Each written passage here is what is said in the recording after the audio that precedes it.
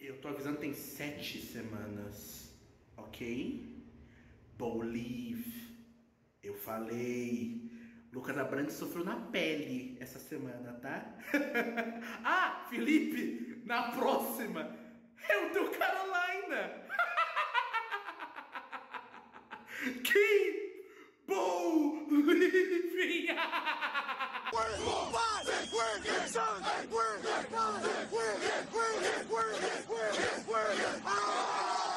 Um abraço para o nosso querido Big Chan, que teve um momento único aí neste amasso que o Denver Broncos deu no seu New Orleans Saints.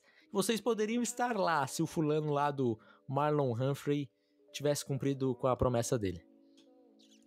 Não cumpriu, não levou a gente. E que bom que não levou, né? Assim, seria legal, porque foi o jogo de homenagem ao Drew e etc. Se, foi a única coisa que serviu. Um momento, um momento que o Matheus não esqueceria jamais na vida dele, tá? Não, jamais. Jamais, jamais. Você porque... queria, ia querer esquecer, mas. É, assim, não tem como. Não mas tem a gente como. sabe que o, o, pior time é o nosso, né? E a cada é, semana cara. que passa, a gente vai ficando mais... Ele esfregar essa nossa cara, né? Ele vê é. um problema... é, eu acho, atualmente, eu acho que o pior time é literalmente o... É, é, é, acho que é literalmente o seu e o é, meu é o terceiro pior, se a gente for inverter a tabela. Não, o seu tá chegando lá. o seu tá chegando lá. Vai ficar uma disputa muito dura, assim. Daqui a pouco a gente tá ali, ó. Ainda é que bem que vocês tá ganharam, com dificuldade né? de encontrar 53 jogadores para fazer um jogo, cara. É difícil, é difícil. Agora, um desses 53 jogadores, ele era dito pelo senhor como Lisan Algaib. Lisan Algaib. Lisan Algaib, ele teve a moral de sofrer dois fumbles na mesma jogada nesse jogo. Isso mostra um pouco como, como que tava indo bem o jogo para o New Orleans Saints, né? Hum, cara, pior é que o começo de jogo é fantástico, assim. A gente tem, a gente já pode começar tocando na, na no, no Bonix Special, assim, que é a primeira, eu juro para você, Felipe, eu, assim, são 15 anos assistindo esse esporte, eu sempre gosto de tocar nisso. Então é muito espaço amostral desse esporte. Eu acho que é a primeira vez que eu vejo um cara conseguir um over e um under throw é na verdade. mesma jogada, pô.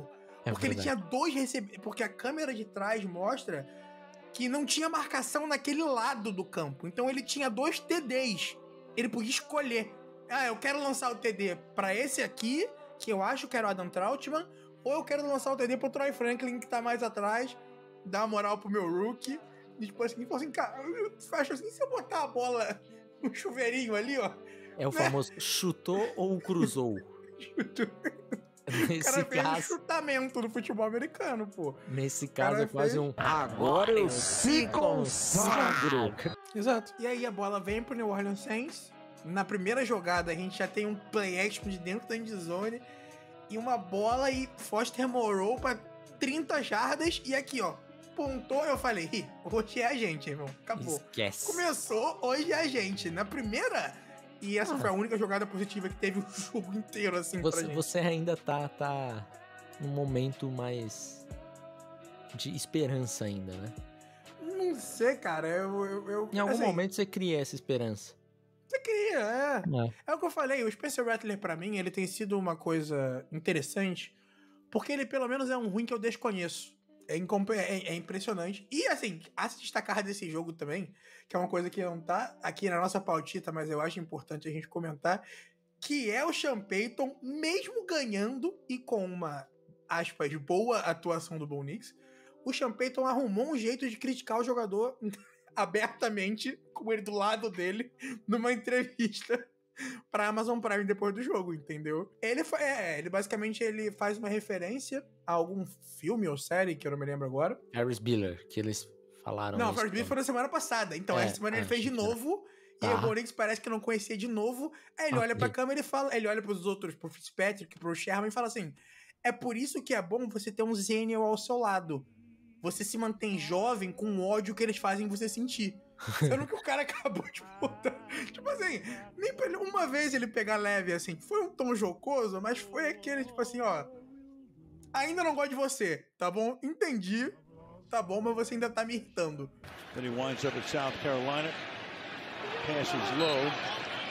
Vamos para domingo, Lucas Abrantes. Vamos para domingo. Parabéns para você, Lucas Abrantes. Você, você, e não só você, todo mundo que tá assistindo agora. Você aí, é, você, teve mais jardas aéreas nesta semana do que Bryce Young. Vamos. Toca a música.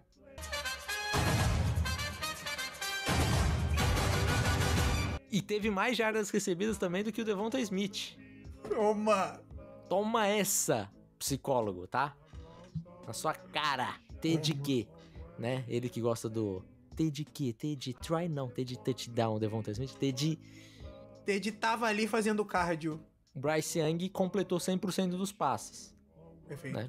Menos duas jardas, menos quatro jardas, não sei. Mas completou 100% dos passes. Não dá pra pedir Perfeito. tudo também. Vocês reclamaram É, da imprecisão de dele. Ele Uma de voltou preciso. Não tem como ser mais preciso do que 100%. E aí o nosso querido Dave Canales foi perguntado hoje na entrevista coletiva se ele tinha fé no Bryce Young. E aí a resposta dele foi: Isso é sobre o Andy Dalton. Isso é sobre jogar contra o Denver Broncos. Que joga agora contra os Broncos. Deus me livre. Matheus vai, Matheus vai dar risada duas vezes seguidas. tá? Acabou, né? Acabou o Bryce Young em Carolina. Será que já. Será que vai ter, cara?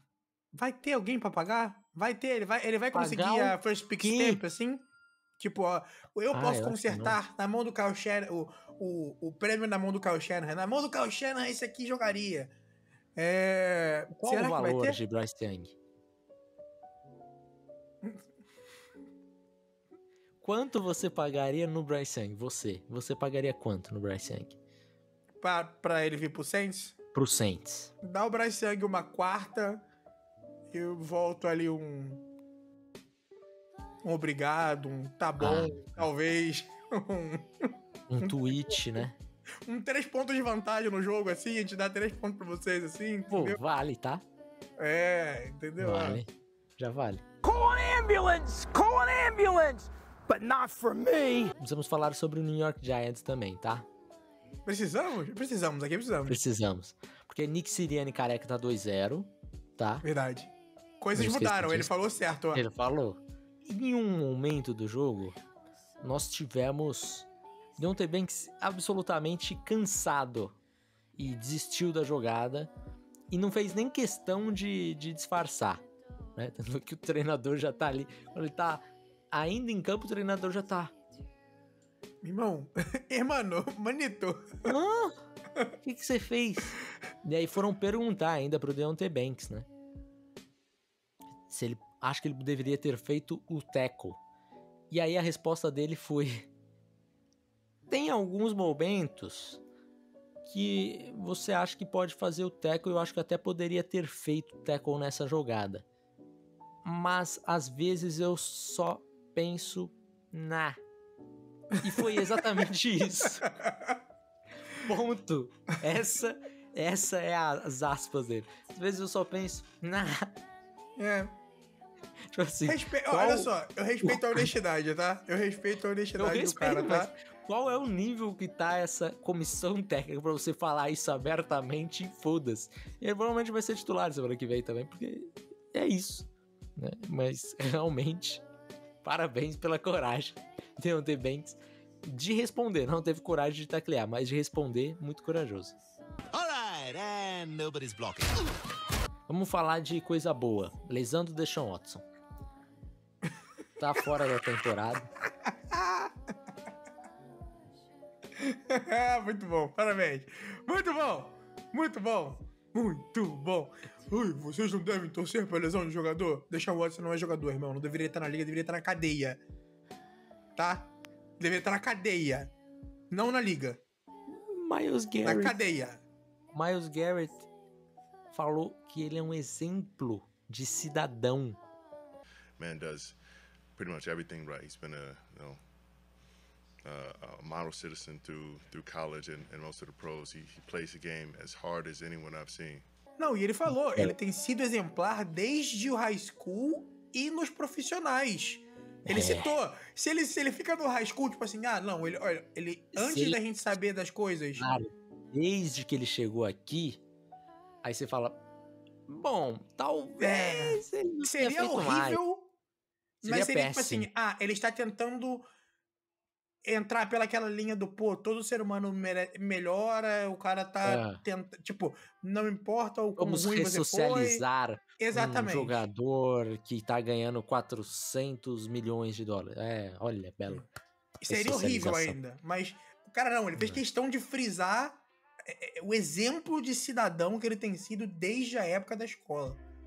Então, assim, meus mais sinceros, vai tomar no palavrão não, Miles Garrett. Pode bipar, Matheus. Tá bom? Meu mais sincero, e aqui, Deixa Watson, ó. Você presar um jogador, aqui pra você, ó. Tá? Se lesione mais. Que você caia da maca e quebra, quebre uma perna também, se possível. Então, eu É. acho que pesou muito o clima, a gente vai passar. Que Não, afim. pesou nada. Eles vão lesar o Deshaun Watson. Tiro pro alto, mano. Pode botar aqui. Pode botar tiro pro alto aqui, fogos. Ó, ficou atrás de ter- se torcendo pelo Deshaun Watson. Ei, piranha! O Flamengo tomou no cu! Isso não tem, não tem tristeza aqui, irmão. Sim. Vocês, Lucas, você, per, pergunte pra mim, Felipe. Vamos lá. Entrevista igual do seu nick. Pergunte pra mim se eu estou feliz com a lesão do Deshaun Watson. Seu entrevistador. Seu vamos lá. Luquini, como que você se sente após a lesão de Deshaun Watson? Feliz para caralho. Aqui, deixa um Watson. Aqui, ó.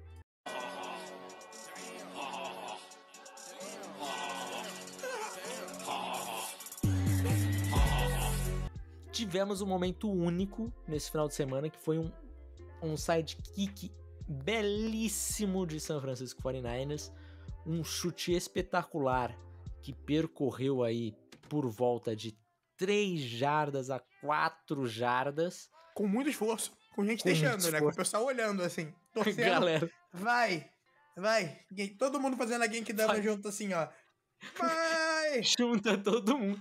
Parece que juntou todos os jogadores do Saints. Ficaram fazendo ciranda, cirandinha, assim, na, na bola, pra ver se com o vento ela andava mais Os 5 caras jogaram jardas. né? O, o cara do curling com a vassourinha ali no fundo, ali, assim, ó.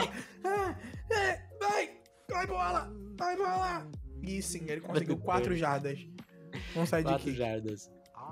Maravilhoso. Parabéns, ao envolvido.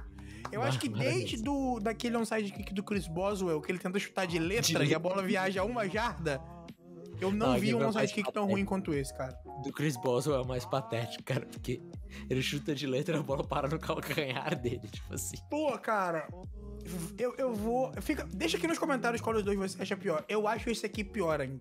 Porque o do, Você Chris? Boswell, o, do, o do Chris Boswell, ele ficou tosco, mas ele ficou. Ele, ele ficou tosco porque ele tentou.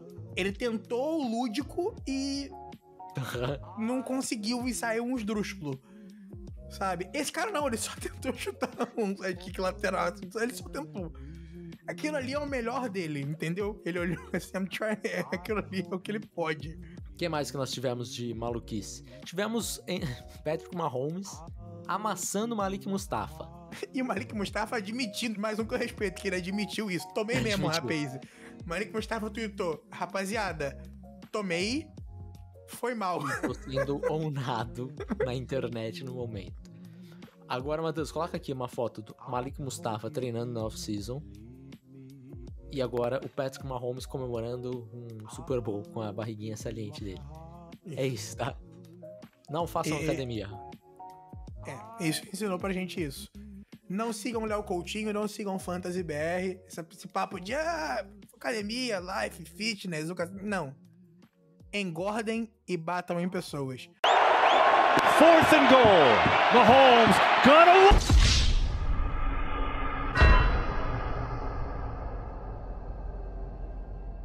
Tivemos também Davante Adams. Agora pedi- pedindo troca, tá? Pediu troca. Tá sabendo dessa? Pediu. Pediu troca. Já foi trocar, já até jogou.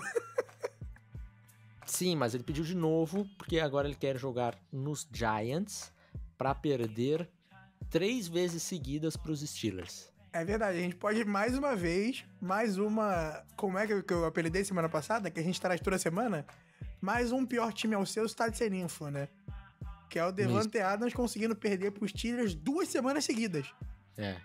Eu acho que ele é o Sim. primeiro jogador da história a conseguir perder pro mesmo time, que não é da divisão dele, duas vezes seguidas, pô. É, deve ter algum outro que teve eh, esse azar aí também, mas a lista Mas não ser tá no estado então- sem info do pior time ao seu, então não É, importa é pra gente.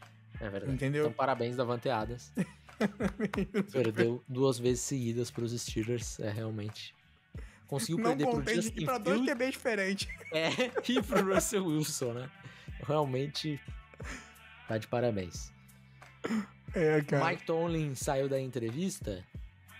Durante o jogo, em algum momento, ele tava com a cabeça cheia, tá? Porque a gente tem a imagem dele. Quando o Russell Wilson erra uma screen por assim, umas 5 jardas que ele erra uma screen, a- filma o Mike Tomlin que tá assim, ó. Assim, caraca, eu acho que eu tomei a decisão errada. Mas no final não tomou, não. O Russell Wilson jogou muito bem esse jogo. E no final da, da- do jogo, na entrevista coletiva, perguntaram pra ele. E aí, essa decisão difícil e tal, né? O que, que ele respondeu? Momento Mike Drop, né? É por isso que eu sou bem pago.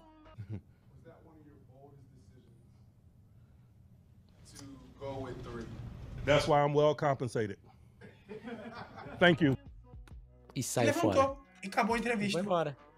Vai. Respeito, tá? Não gosto do Mike Tomlin, mas não gosto do Mike Tomlin como treinador, porque eu acho ele bem mediano. Mas Que é o que ele é todo ano. Muito É a definição, inclusive, dos Steelers todos é, todo ele, ano. ele é a Mediano. linha de, ele é a linha de Dalton dos treinadores, né? Então é isso, né? Fechamos por aqui o programa de hoje. Viu alguma coisa engraçada que você acha que precisa ser falado no pior time ao seu? Manda aqui, manda no Twitter, manda nas redes sociais, segue a gente nas redes sociais e fala pra gente não perder nada, tá bom? É disso? É isso? Nosso pior time é o pior time. A gente tá muito feliz, né? Pra quem tá apanhando semana após semana. Vamos terminar mais triste Não sei que programa. felicidade é essa que você tá vendo, cara. Tá bom. Pessoal, Eu prefiro ser corno que torcer pra Carolina. sobe a música, Matheus. Sobe a música e a gente vai dançando modão em Um abraço, aqui. Bruno Vincenzi, autor desta música maravilhosa. Tchau. Eu prefiro